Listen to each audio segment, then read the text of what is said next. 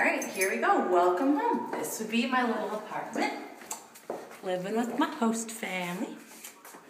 And we gotta close the door for security reasons with one, two, three, four full locks. This is the hallway. Now we walk to the living room where we go and we watch TV, hang out, and people over.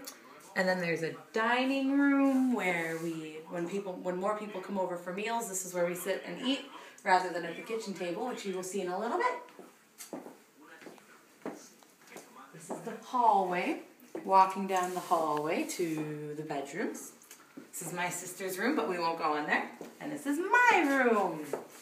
Each room is provided with a desk and a bookshelf of some sort, a bed, and a closet, which in Spain happens to be an armoire.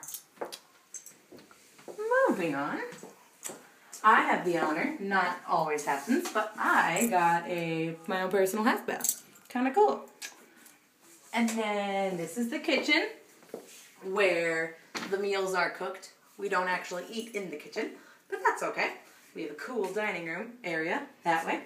And so, yeah.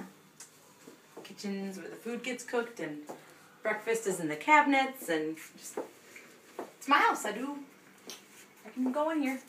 And this is the dining room area where we sit and eat our meals with a TV on during mealtime and a space heater under the table. Really cool for winter. So yeah, that is my house. I hope you enjoyed.